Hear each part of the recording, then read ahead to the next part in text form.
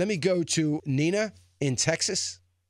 Hi. Um, I had a question. Uh, my father passed away, and uh, I, me and my sisters were left as beneficiary to his retirement.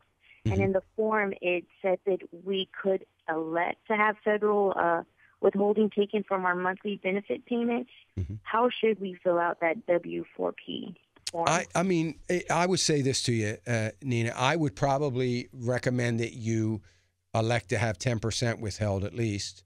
Um, the, but if you guys are super disciplined and you don't feel like there's going to be any reason why you're not going to pay your taxes at the end of the year, you know, and you and you and you feel like, you know what, I got savings. I just I, I I'd rather have it all now, and then I'll pay the taxes when I do my taxes. Um, if you're really disciplined like that, then it's you know uh, then you don't have to do it. But um, I'm I'm a pretty disciplined. I'm, I'm about as disciplined as you get about stuff like that. If it were me, I would have the taxes withheld because as disciplined as I am, I also don't want the hassle.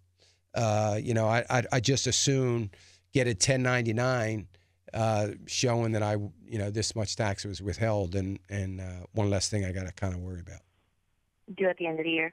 Okay, and I also had another question because we were left beneficiary. Can we have it rolled over into something else, or do we have to continue like my father did and just receive monthly payments? No, you you you've got to continue. You have to continue. You have to continue. Okay. Yeah.